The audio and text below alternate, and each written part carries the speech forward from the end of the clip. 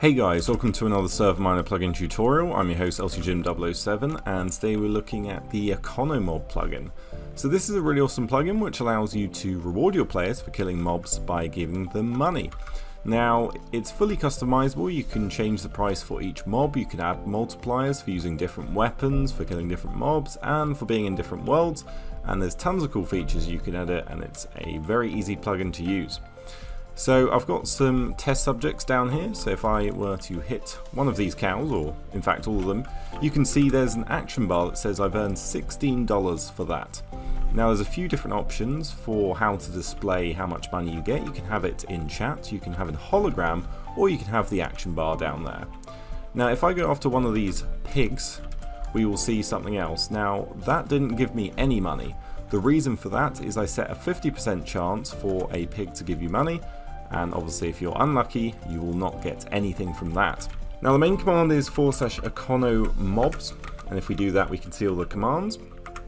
Now one thing we can do is reload the plugin and what I've done is change the config file to display in chat now.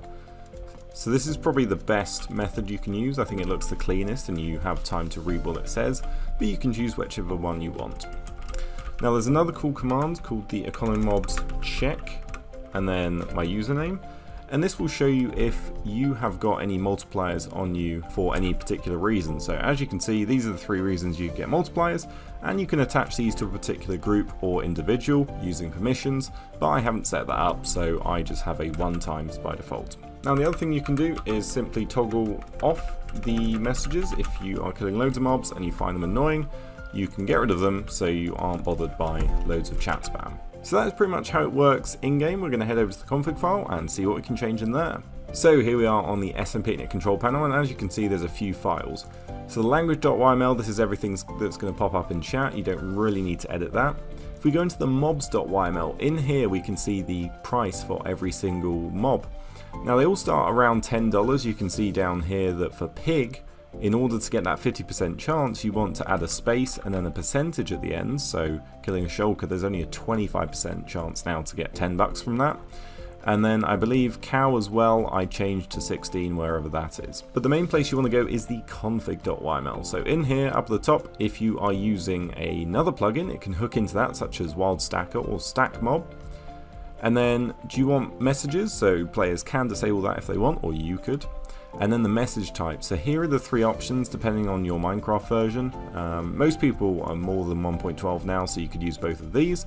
And if you do want to choose hologram, there are some other options down here, such as you want it to float away, bounce, or just stay still, and then how long should it do that for. Here are the multipliers, so you can set a particular group, such as uh, example group, and the higher the weight here, the higher the priority as it says, and you can list various mobs and change how much more they get. And then same thing for weapons, so you can put any particular weapon you wanted here, such as a diamond axe, and that might get a 1.3 for example.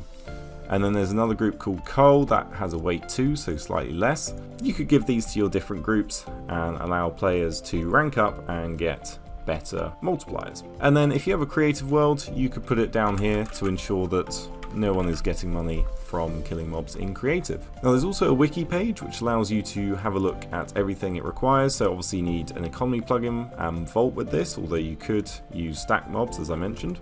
If we go into permissions, this is the permission you need to give to add a multiplier to a user or group, so economobsgroup.example or .col. So here we are on the Spigot page, you can see it's updated to 1.19. Here is the wiki and here is Discord if you want to ask the developer any questions or have any problems.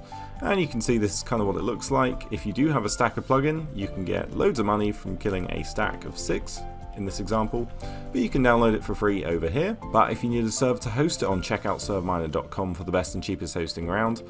But that's it for me. Subscribe, like, comment, and I'll see you next time.